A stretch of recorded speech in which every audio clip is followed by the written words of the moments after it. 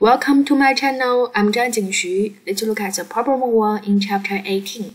Chapter 18 is about kinetic, kinetic energy of gases. There we talk about oxygen molecules at the standard temperature pressure.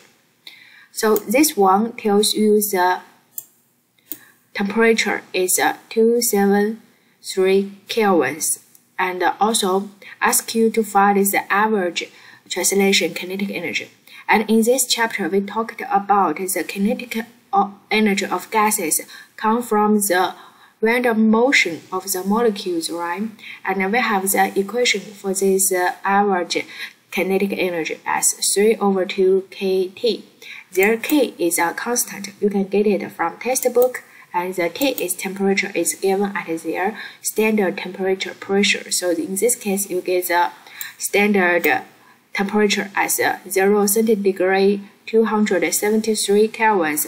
Input known quantities, get answer there. The next one is tell you what is the total kinetic energy of one more oxygen molecules at the 25 centigrade, right? So now we can see we list the known quantities. First one given is temperature. So temperature we convert the unit to Kelvin and use 273 plus 25. The next one tell us the moles, the number of moles of these oxygen molecules, one mole, right? And then ask you find the total kinetic energy. So we can use the number of the molecules times the average kinetic energy. Do you agree? And as we know, the average kinetic energy is 3 over 2 kT. Now, how, what's the number of molecules for one mole of oxygen? In this one, we can see we, have, we can use this uh, constant times mole number.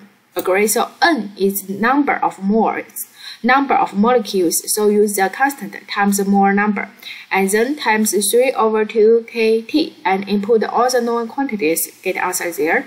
Thank you.